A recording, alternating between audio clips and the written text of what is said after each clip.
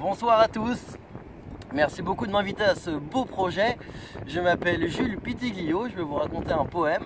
Et en ce moment, nous sommes donc en France, dans le département de la Vendée, plus exactement dans la ville de Gers-sur-Mer, au bout de la digue de ce beau port, au coucher du soleil.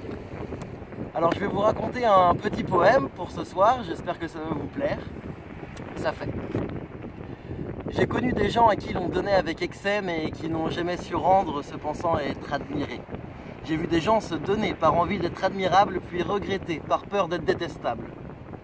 J'ai su faire confiance. C'est ainsi que je remarque la méfiance. Pour l'éviter, je danse sans me précipiter. Alors j'ai essayé, et j'ai cru comprendre qui vous étiez, mais vous êtes bien trop compliqué, à tel point d'emmêler la simplicité. J'ai voulu changer l'autorité sans la défier, prévenir de ses bêtises ou d'une modeste crise. Puis j'ai reconnu des gens qui voulaient juste suivre le pas. Comme ça, au moins, on ne les emmerde pas. J'en ai vu d'autres qui voulaient sortir du lot. Comme ça, au moins, ils restent à flot. Et puis j'entends les gens se plaindre pour le plaisir de geindre. Je vois celui qui console pour une fête plus folle. J'entends celui qui critique sans voir le fantastique. J'apprécie celui qui rit, un peu gêné, sans modestie. Je vois celui qui compare. Il a parlé, il est trop tard. J'aime l'intuitif, car sans parler, il est actif. Parce qu'on en a marre de porter ses masques et d'assumer ses rôles. Je ne veux plus d'un discours adapté, je veux tout adopter. De l'humour, de l'amour, de la tendresse, de préférence une nuit d'ivresse. Parce que j'ai oublié ce que j'ai vu. Été ce que j'ai su. J'ai connu ce que j'ai voulu et j'ai lu ce que j'ai cru. Je suis comme vous, éclectique et un peu fou. Parce qu'on veut ce qu'on n'a pas. On fait ce qu'on ne peut pas. On dit ce qu'on ne sait pas. Je suis curieux et envieux. Je suis, comme vous, éclectique et un peu fou. En fait, je suis un optimiste compulsif. Ne vous en faites pas, ça va bien se passer. Ne t'en fais pas, un jour je serai prêt. Ne t'en fais pas, un jour je pourrai t'aimer je ne m'en fais pas. Parce que j'ai vu dans vos yeux le reflet d'un miroir fêlé, une envie rayée par la réalité, le fantasme de la sincérité, le spasme incontrôlé de la vérité, l'orgasme désiré de l'impossibilité. Parce que j'avance pour prouver, je recule pour m'adapter, et je m'adapte pour provoquer. Voilà, c'était euh, mon court poème pour ce beau projet. Je vous souhaite à tous une belle soirée et au prochain.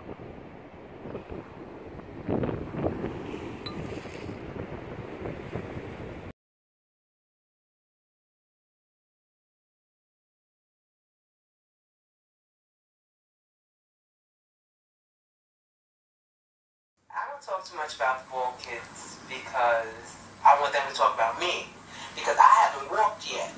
like, well, William says, I want you to my ball. Someone created a piece called Entertainment Erases History, Dates and Inventions, and Timelines and Space. Between the objects and production and instruments, hold and document. Now, hold it, hold, hold. Where do the disassociations go? Unity, facts, come on, like limits. You are looking at future other. What heals trauma? Be seen. Facts won't allow thinking past them, holding identity, image. Want to make someone disappear? Stop looking at them. What limits of the psyche, remove psyche. The void is not to be filled. I will not linger while other books converge without words you recognize. Words that assume another agreement. Oh, I do this. Just start wandering the whole of it. In the past, I think the idea was to identify some, place them, work them, Facts are old ideas. The whole planet, an update. And it goes on, on the surface. Same language, fighting itself. Discern, revolt, cultivate. I like the desire to cultivate oneself as a human being. I'm invested.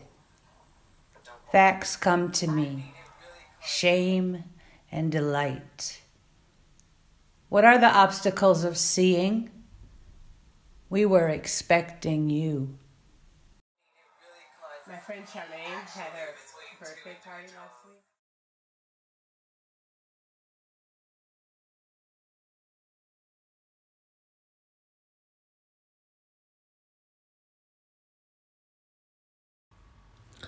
How to comb your hair with a fork. Take all your thoughts. We don't care at this point about their content and start making a paste of them. When the dough takes shape, then you can imagine the next step. Attach your head like an Easter egg by pressing rewind from your family memories. In theory, now you can see this poem as it is being written.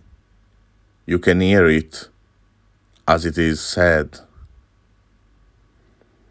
Now take a fork in your hand by directing the tips toward the ground and hold it gently for complete control. At this point, bring the fork to your head and comb your hair. If you don't have hair, do the same thing with a beard. If you don't have even beard,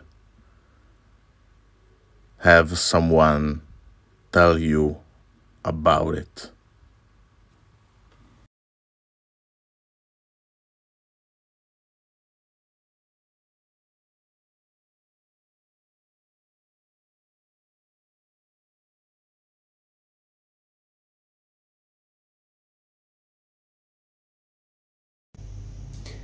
Servo in una chiesa molto piccola, una parrocchia nella Bergamasca, dove devo essere un punto di riferimento per la mia comunità e lo sarò fino alla fine di tutto questo, perché la gente ha bisogno di speranza ed è mio dovere donargliela. In passato ho già visto persone, brave persone, ammalarsi persino perdendo la possibilità di avere una vita dignitosa.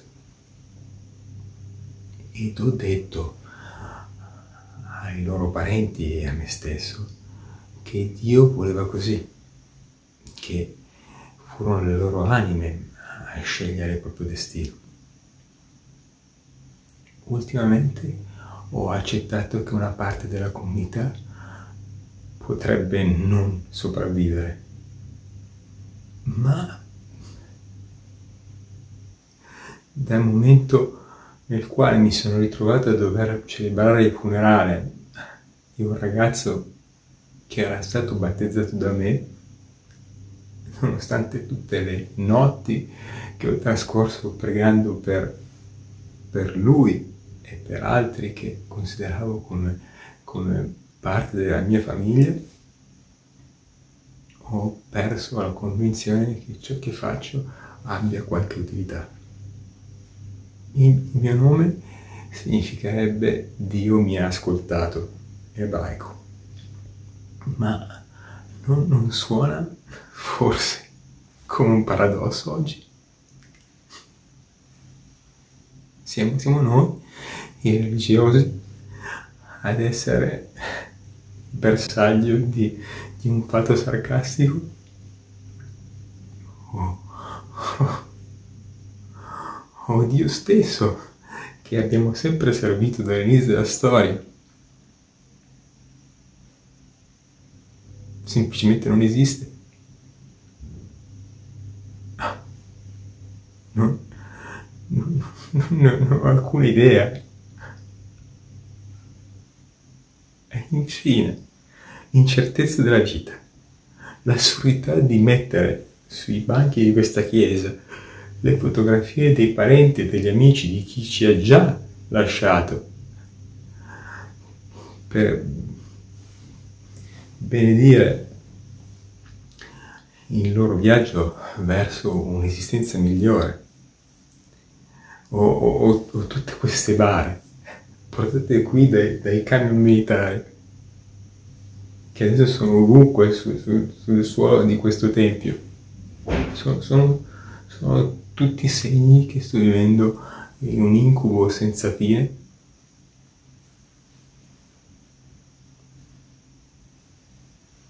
Non, non lo so più.